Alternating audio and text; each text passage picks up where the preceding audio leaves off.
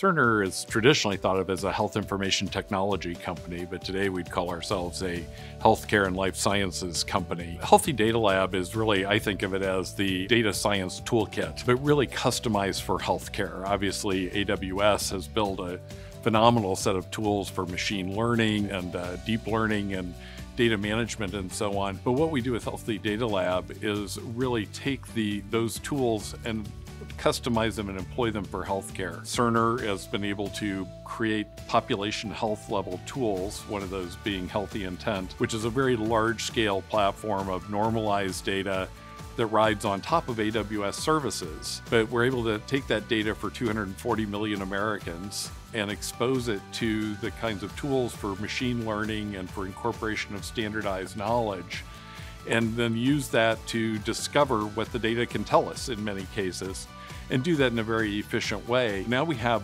much better data and we have much better uh, access to clinicians. Uh, they're sitting in front of devices that we can access. The real win for patients here, I think, is that A, we can discover knowledge much more quickly with these kinds of tools and platforms and scalability that we get with uh, with tools like the AWS services. What our, our customers, the health systems, patients, and others really want is rapid progress in the rates that they see in other fields today and that's what AWS I think enables us to do is by not having to do all of that very basic work focus on the healthcare specific aspects and deliver more quickly higher value and, and that's what's going to make the difference